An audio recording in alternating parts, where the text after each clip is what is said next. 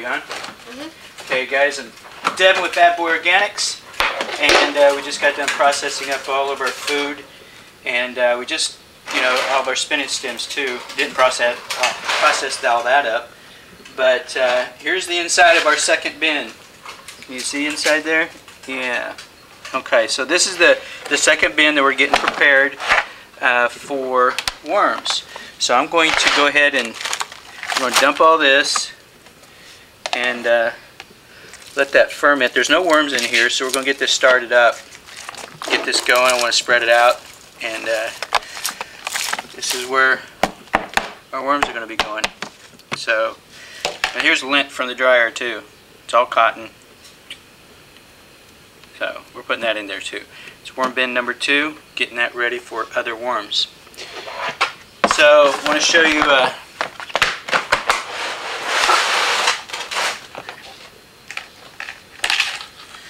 Okay. Alright, this is our first worm bin. And look at this. Check this out. Look at all these worms in there. There's probably...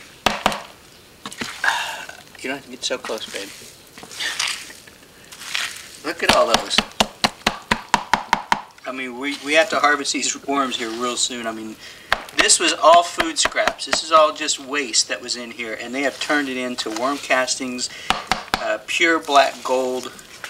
Um, this is just awesome stuff. So anyhow, that's uh, that's this is our first original worm bin, and and uh, there we go. All right, guys, I'm Devin with BadBoyOrganics.com. Feel free to go to our re resource site, check it out if there's anything that interests you, you know, let us know. If there's nothing there that, uh, if you need to get more information on something else, let us know that too. And uh, would love to be your one-stop shop resource site for whatever you need. So guys, I'm out of here. It's Devin with Bad Boy Organics. Bye for now.